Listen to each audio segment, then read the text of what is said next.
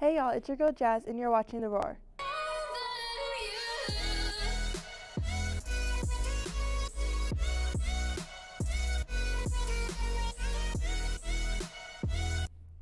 We have lots of sports in action today.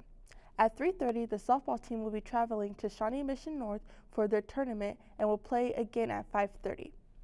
Also at 3.30, there will be a home tennis duel versus Blue Valley Southwest. The track and field team have a meet versus Bonner at their high school at 4. The girls soccer team have a home game versus Base at 5:30, and last but not least, at 8:15, the boys team, the boys baseball team has a tournament versus Shawnee Mission North at Lawrence High School. This Saturday is the last chance to order a yearbook for $60. To get one, visit yearbookordercenter.com.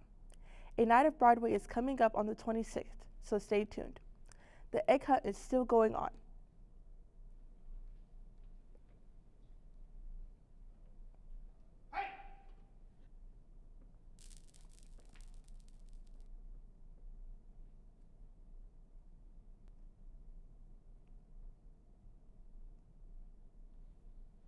Looks like the bunny got the Skittles scared out of him. Or her.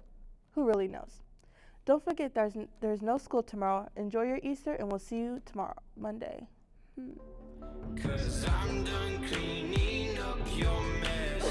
I literally just